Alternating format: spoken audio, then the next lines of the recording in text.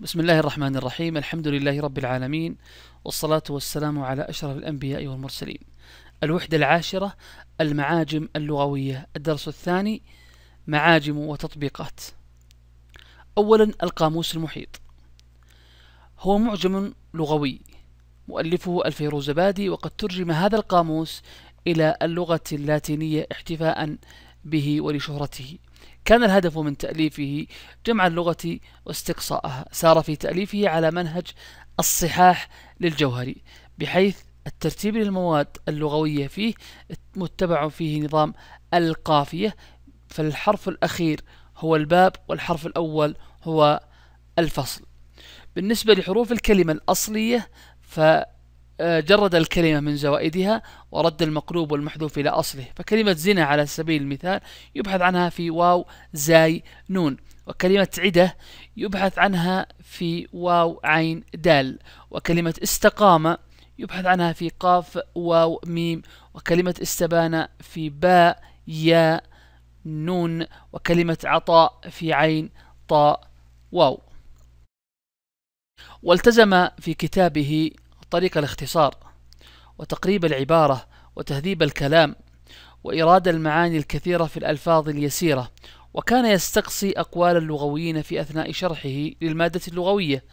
ودعم هذا الشرح بشواهد من القرآن الكريم والحديث الشريف وعرض لأسماء البلدان والأماكن والأعلام وكان يعالج في بعض الأحيان القضايا النحوية والصرفية والصوتية وينص على ضبط المادة. إلى آخره. الكتاب الثاني أو المعجم الثاني لسان العرب لا يقل شهرة عن سابقه إن لم يكن أظهر وأشهر. ظهر هذا المعجم في نهاية القرن السابع الهجري ألفه العالم الكبير ابن منظور وكان الهدف من تأليفه آه، استقصاء اللغة وترتيبها. فجمع مادته من تهذيب اللغة الأزهري والمحكم لابن سيدة والصحاح للجوهري وحواشي ابن بري والنهاية في غريب الحديث والأثر لابن الأثير. وقد احتذى ابن منظور نهج الصحاح أي الترتيب الأبجدي حسب أواخر الكلمات. بمعنى رتبه على نظام القافية. فجعل الحرف الأخير باب وجعل الحرف الأول فصل كما هو معلوم. وراعى في الترتيب أصول الكلمات الحرف الثاني في الثلاثي والرابع في الرباعي والخامس في الخماسي وذلك بالنظر إلى حروف الكلمة الأصلية. آه، فجرد الكلمة من زوائدها ورد المقلوب والمحذوف إلى أصله. وكان يستقصي ابن منظور في لسان العرب أقوال اللغويين في أثناء شرحه المادة اللغوية وقد دعم هذا الشرح للمادة اللغوية بشواهد من القرآن الكريم والحديث الشريف والشعر العربي وأقوال العرب النثرية. لو طبقنا سواء في كتاب آه، القاموس المحيط أو في لسان العرب لأنها تتبع منهج واحد منهج واحد لو طبقنا عليه هذه الكلمات. كلمة مأكول على سبيل المثال لا بد أن تعود إلى أصلها الثلاثي الألف أو الهمزة والكاف واللام.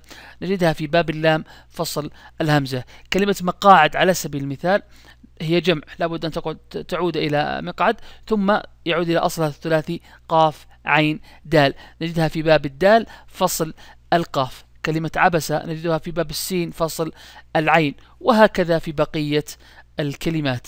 الحرف الأخير للأصل لأصل الكلمة الثلاثي. الحرف الأخير أو الرباعية أو أصول الكلمة. الحرف الأخير هو الباب والحرف الأول يعد الفصل. الكتاب الثالث أو المعجم الثالث هو مختار الصحاح. مختار الصحاح. ألفه العلامة الرازي.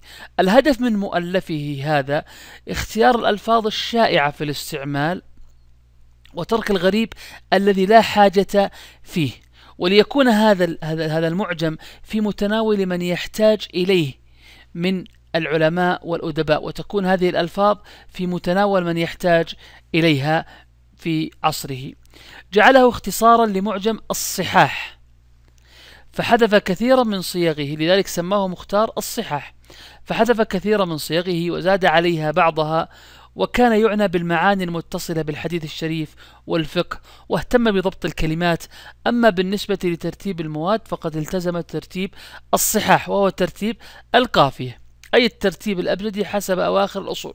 لكن في العصر الحديث كلفت وزارة المعارف المصرية الأستاذ محمود خاطر أن يهذب مختار الصحاح بمعنى أن يعيد ترتيبه وذلك بالنظر إلى أول الحروف الأصلية للمواد فكأنه عاد ليسير على منهج المدرسة الهجائية العادية أو النظام الألف بائي العادي والمشهور في العصر الحالي. فرد المواد إلى مشتقاتها التي يصعب على الطالب ردها إليها وحذف ما لا يليق بأسماء آه، النشر وكان الشرط في إعادة تهذيب وترتيب هذا المعجم المحافظة على أصوله. لو أردنا أن نأخذ تمرين على هذا المعجم وقلنا رتب ورود هذه الكلمات في معجم مختار الصحاح في طبعته الحديثة طبعا مدرسة جامعة كتاب ظل تكريم تجهيز. كيف نرتب؟ الخطوة الأولى أن نعيد هذه الكلمات إلى أصولها الثلاثية. آه، دال راء سين بالنسبة للمدرسة.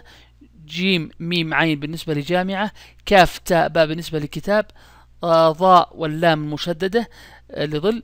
تك تكريم أصلها كاف راء ميم. وتجهيز أصلها جيم هاء زاي. ثم كيف يكون الترتيب؟ الترتيب سهل جدا بحسب ترتيب الحروف الألف باء والترتيب الهجائي. أول هذه الحروف هو حرف الجيم ولأن عندي جيم ميم عين وعندي جيم هاء زاي فإني انتقل الحرف الثاني الميم قبل الهاء فتكون جامعة ثم كلمة آه تجهيز.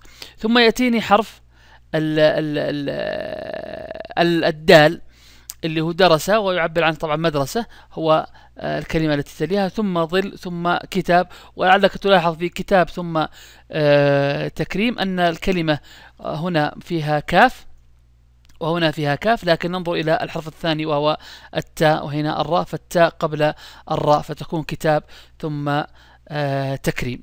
إلى هنا نأتي إلى ختام هذا الموضوع. نلقاكم في درس آخر. السلام عليكم ورحمة الله وبركاته.